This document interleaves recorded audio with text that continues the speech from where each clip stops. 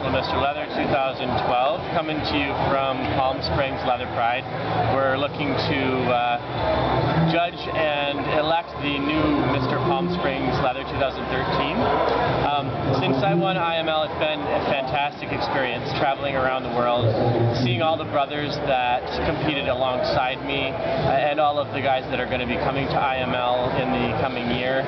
Um, the communities have really rallied around all of these people to just support our incredible community. Um, we've been able to spread the message of Mr. Friendly, uh, to eliminate the stigma associated with HIV around the world, and it's just been welcomed with open arms, and I can't thank everybody enough for that. Um, I guess finally, I just want to throw out a thanks to everybody for their incredible support. Um, make sure you keep on supporting each other and being proud of yourselves and, and what you are and what you represent.